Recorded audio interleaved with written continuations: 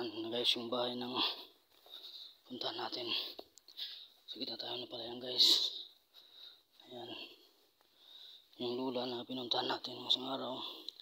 Nabigyan na natin ng sobre from Tingog siyempre. Tingog Girls. Yan. Lagang Tingog. Yan guys. Yan. Guys oh. Nakatayin nilakad natin layo. Lalun. Yan. Na tayo. Upay. Oh, bro.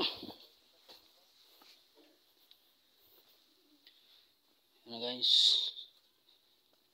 Punta tayo kay ano kay Lula. Yan.